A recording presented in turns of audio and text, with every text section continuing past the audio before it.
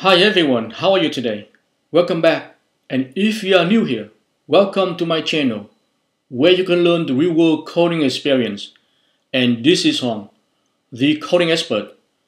If you want to pass any coding exam to start your coding career, or if you are already holding a coding credential, working in the field, and want to learn more in order to advance your coding profession, then you are in the right place. I hope that you enjoy my video lesson on the anatomy and physiology for coders in 2021 video series.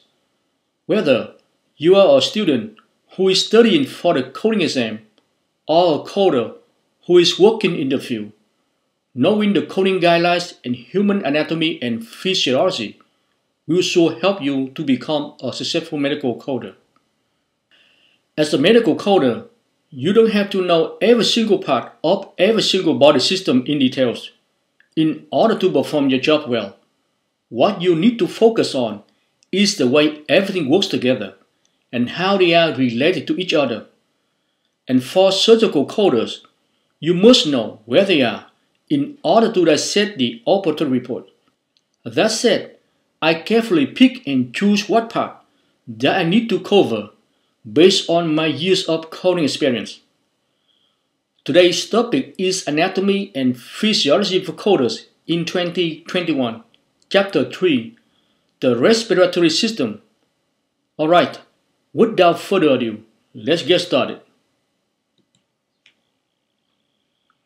Inside this video, first, I will go over the homework that I gave you last week.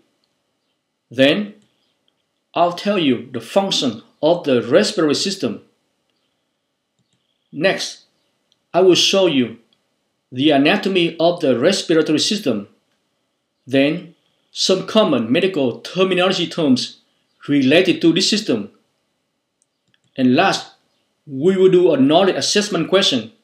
And as usual, I will also give you a homework assignment at the end of the video to reinforce what you learned today. Homework number one. This is the homework that I gave you last time in my previous video. I hope that you actually spend some time to do your homework. The goal of the homework is to reinforce what you have learned and help you practice the skill that you need to prepare for the exam and also for work. I would rather see you do your homework and make mistake than not doing it at all. So let's see how you did. What is the correct CPT code to use for this procedure.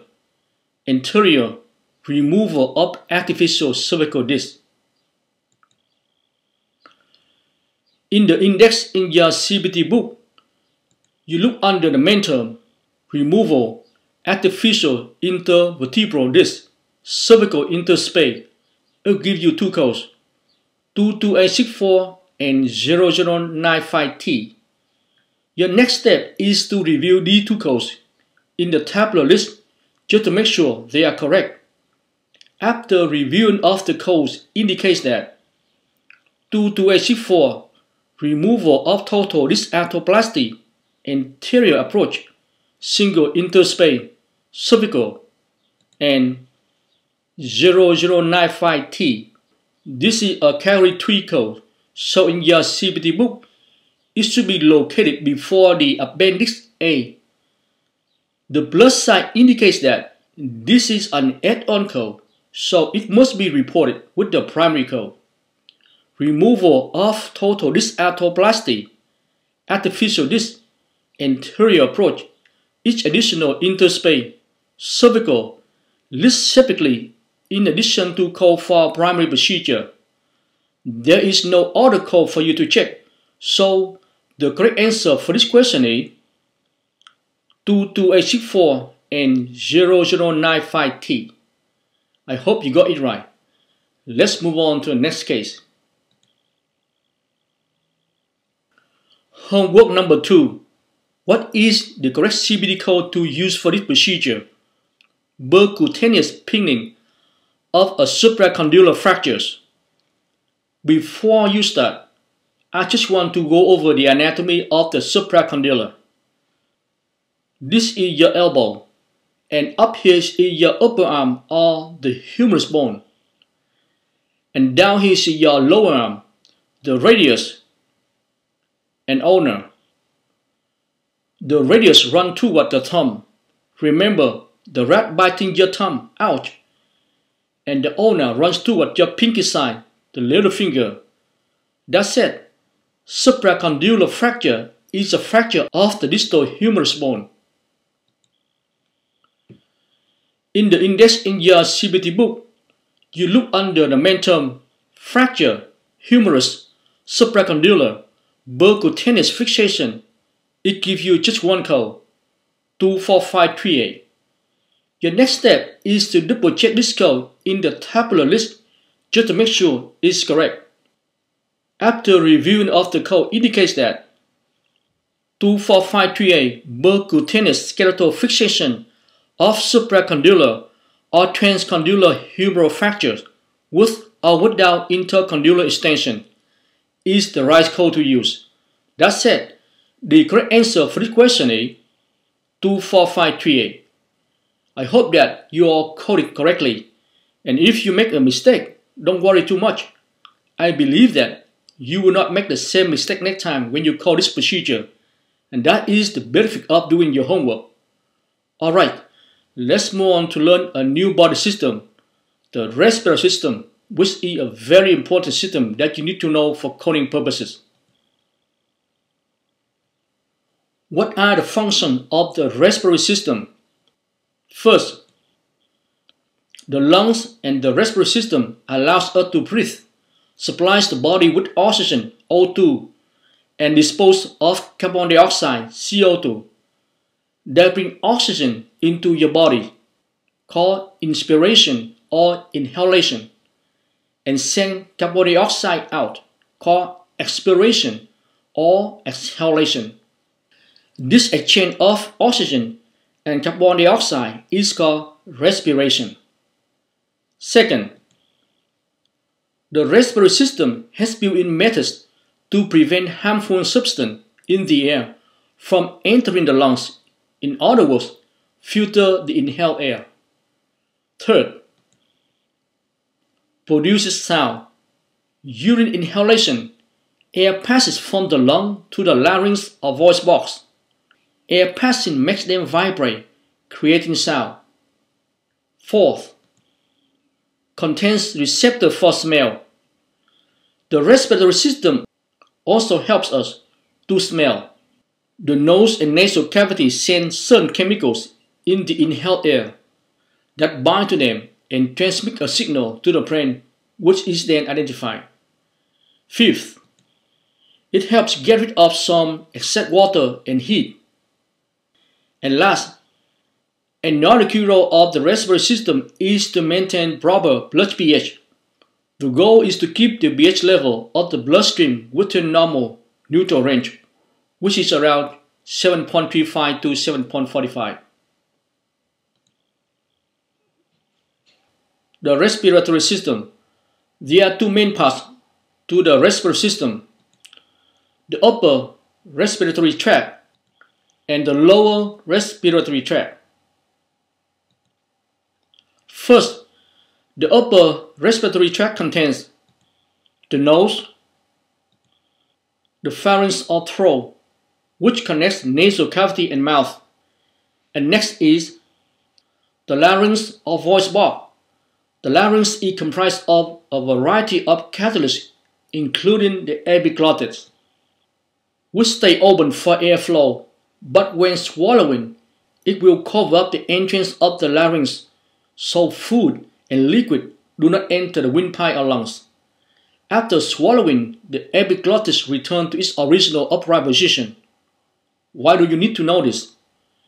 If you are an inpatient coder, you will be coding cases related to aspiration pneumonia due to inhalation of food and vomitus, so please keep this in mind. Next, the lower respiratory tract located within the chest contains the trachea or windpipe, which descends and divided into two main or primary bronchi one to the right and one to the left.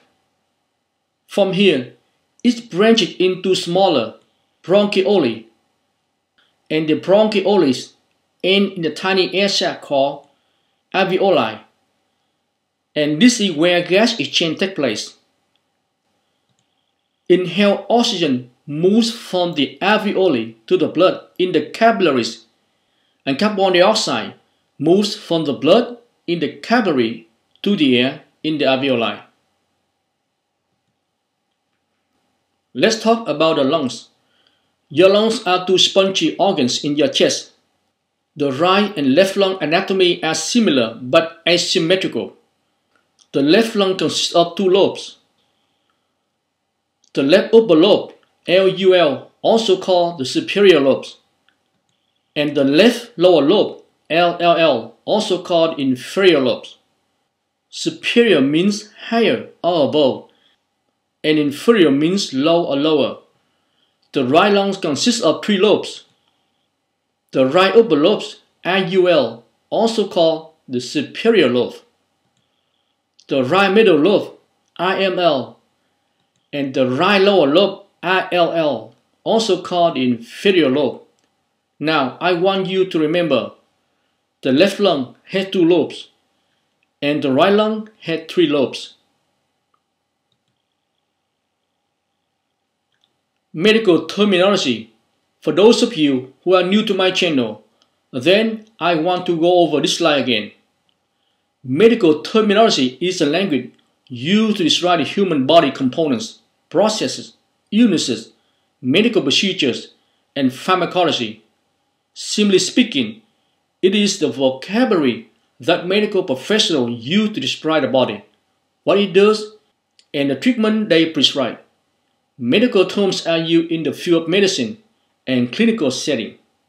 Medical terminology is composed of a prefix, root word, and suffix. A prefix is placed at the beginning of a word to modify or change its meaning. Pre means before. Prefix indicate a location, number, or time. Root central part of a word containing basic meaning of the term. And the suffix, the ending part of a word that modifies the meaning of the word. For example, myocarditis we can break down myocarditis into three parts, which will clarify the meaning of this term. The prefix myo means muscle, followed by the root card, which means heart, and then the suffix itis means the inflammation. So the meaning of myocarditis is the inflammation of the heart muscle. Here's the list of some common terms relating to the respiratory system that you should know for coding purposes. A. Meaning lack of. For example, anosmia, lack of the scent of smell. D. Meaning breath. Example, dyspnea, difficult or painful breathing. Bronch, bronchi. For example, bronchoscopy, an instrument to examine the bronchi larynx. For example, laryngitis, the inflammation of the larynx. Pulmo, meaning lung. For example, pulmonary embolism is a blood clot in the lungs. Pneumo, meaning lungs or air. For example, pneumonia, a severe infection of the lungs. Renal, meaning nose. For example, rhinoplasty, it is a cosmetic surgery. Thorax, meaning chest. For example, thoracentesis, aspirate fluid or air from the chest. And trach, trachea. For example, tracheomalacia, collapse of the airway when breathing. Terms to know. Here is the list of common disease and conditions that affect the respiratory system that you should know for coding purposes. Atelectasis, a collapse of lung tissue, an integral part of pulmonary disease.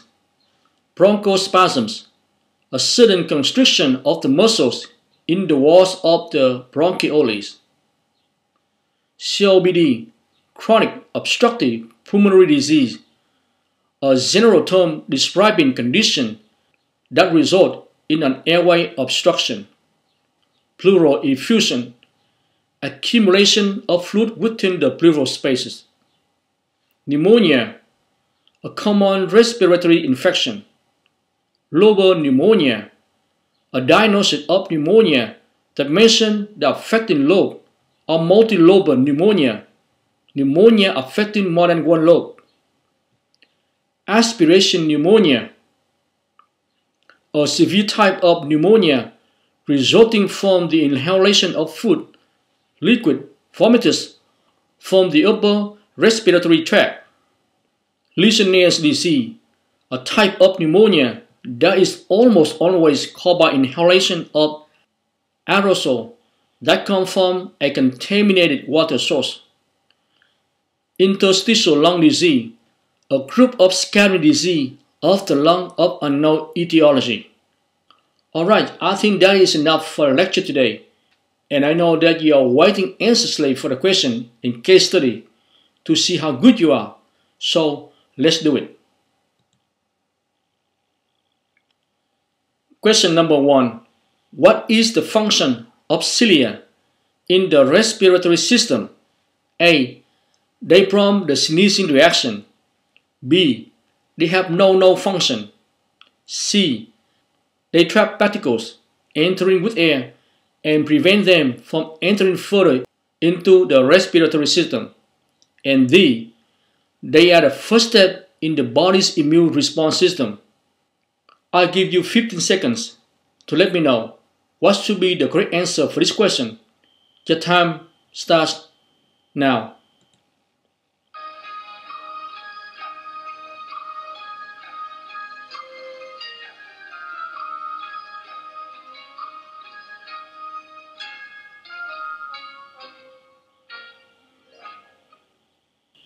If you pick C, they trap particles entering with air and prevent them from entering further into the respiratory system. That is great, good for you. This is one of the functions of the respiratory system, which is to filter inhaled air. Within the nose or bronchus, there are hairs or cilia that catch germs and other particles inhaled with air. However, cilia do not catch all germs, which is why infection can occur within the bronchial tubes and lungs. Question number two. Which structure is included in the upper respiratory tract? A. Diaphragm B. Alveoli C. Pharynx or D. Lungs? I'll give you 15 seconds to let me know what should be the correct answer for this question. Your time starts now.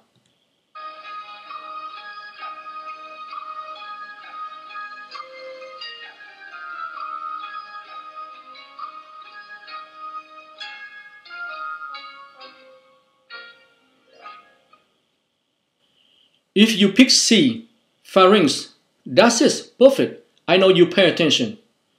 The upper respiratory tract contains the nose, pharynx, and larynx. Question number three. What is the primary function that occurs within the lungs? A. Oxygen and carbon dioxide exchange. B. Fluid waste expulsion. C involuntary muscle contraction, and D. Absorption of dust particles. I'll give you 15 seconds to let me know what should be the correct answer for this question. Your time starts now.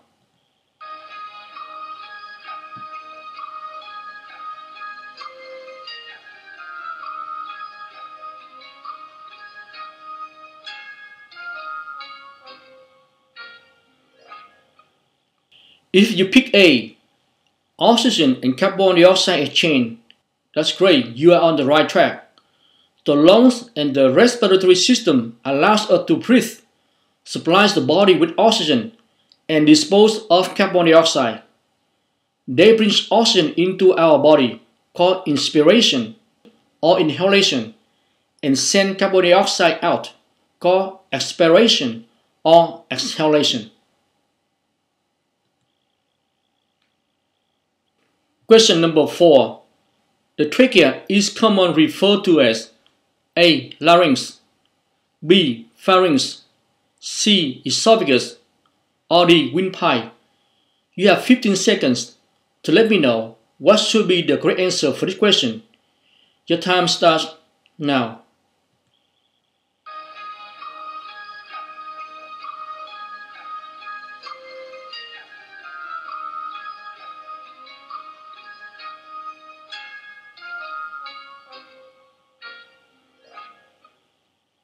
If you pick D, windpipe, that's great, you are learning fast. The trachea, also called windpipe, begins at the larynx and split into bronchi, the left and the right primary bronchi. Question number 5. How many lobes are in the left lung? A. 2 B. 3 C. 1 or D. 5 lobes? I'll give you 15 seconds to let me know what should be the correct answer for this question. Your time starts now.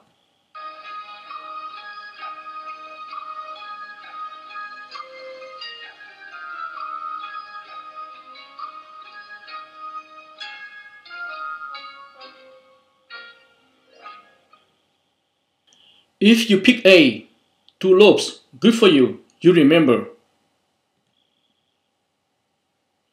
The left lung contains two lobes, while the right lung contains three. This is due to the placement of the heart within the thoracic cavity. Just a friendly reminder that if you enjoy what you have learned so far and appreciate my time spent for this video, then you could please pause the video Click the like, subscribe and share buttons below now to support my channel and that'd be great. I spent lots of time over the weekend to prepare for this learning video, but it's free and I have never asked you for anything in return.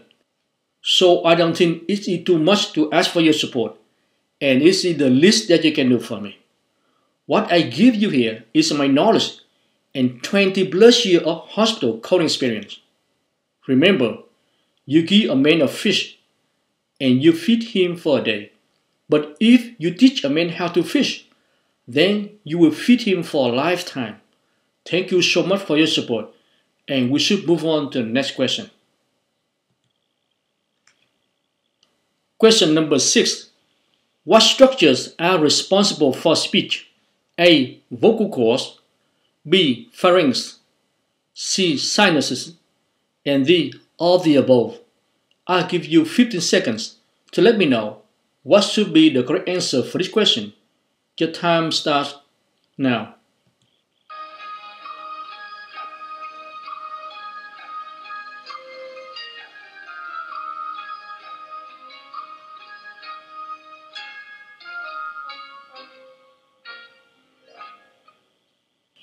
If you pick D, all the above, that is the best ever. Nothing can stop you now.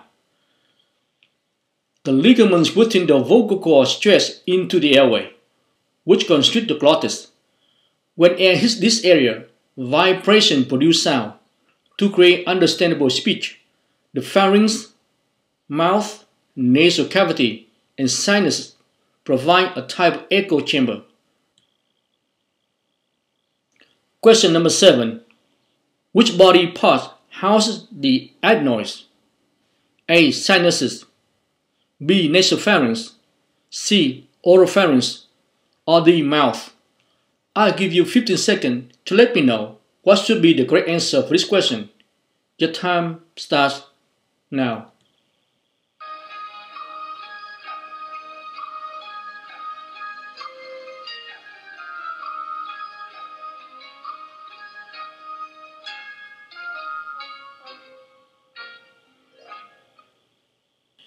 If you pick B, nasopharynx, you got it.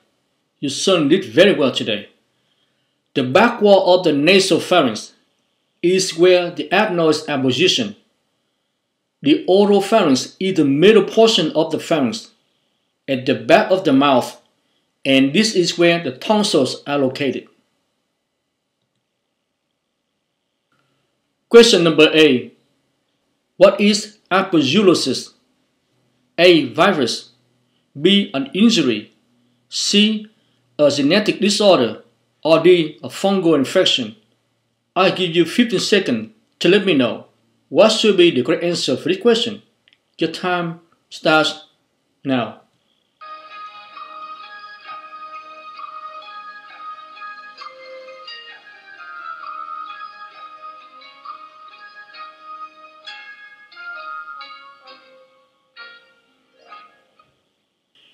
If you pick D, a fungal infection, wow, nothing can stop you now.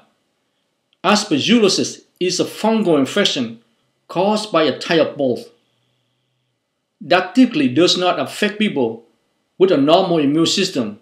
The mold triggers the illness, Aspergillus, is everywhere, indoors and outdoors.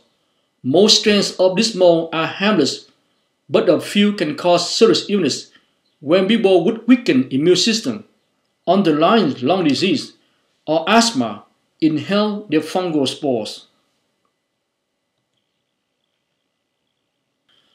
Question number 9. What is the common name of the disease caused by the Bordetella pertussis bacteria? A. Strep throat B. Asthma C. Tuberculosis or D. Whooping cough? I give you 15 seconds to let me know what should be the correct answer for this question. Your time starts now.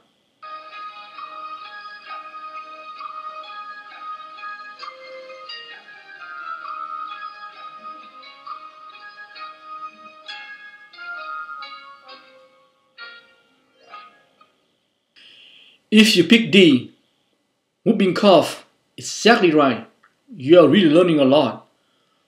Whooping cough also as pertussis or the 100-day cough, is a highly contagious bacterial disease named after the bacterium Bordetella pertussis, which is the cause.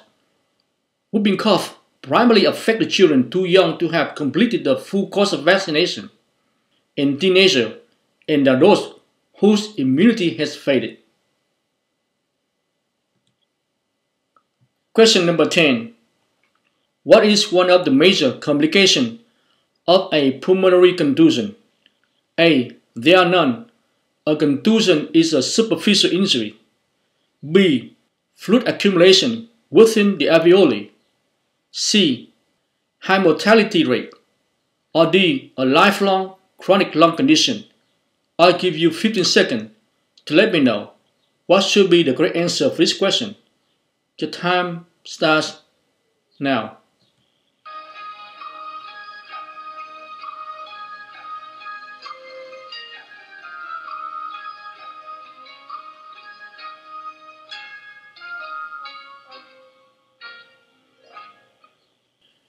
If you pick B, fluid accumulation within the alveoli, that's it. I could have done it better myself. A contusion is a superficial injury, often a bruise, resulting from trauma without a break in the skin. However, even this kind of injury can have serious complications when the contusion affects the respiratory system, particularly the lungs a pulmonary condition affect the lung tissue itself, leading to fluid and blood accumulation within the alveoli of the lung, within the alveoli, within the alveoli of the lung. If the contusion is left undiagnosed, complications such as pneumonia and respiratory failure may occur. This is your homework called the following diagnosis. Bronchial asthma, allergic, due to house dust. Acute exacerbation of chronic asthmatic bronchitis. Chronic obstructive lung disease with acute exacerbation. Emphysema with chronic obstructive bronchitis. Mild intermittent asthma with status asthmaticus. Acute bronchitis with acute bronchiectasis, lobar pneumonia with influenza, Klebsiella pneumonia, acute pneumococcal lobar pneumonia, and aspiration pneumonia due to aspiration of vomitus. To make it easy for you to look them up, I already underlined the main terms for you. I'll the answer key inside my free coding course after a few days, so you should have enough time to code them before checking for the answer. That is all for today. I will show you how to call this respiratory system in the next video. Thank you so much for watching, for liking and sharing this video. If you find this video helpful, informative and easy to learn with this format, or if you have any suggestion, then please leave me a comment below just to let me know. I really appreciate. Also, the more comments that you leave for me, the better change for my video will be reviewed by other people. So please continue to do so. Until next time, have a great day.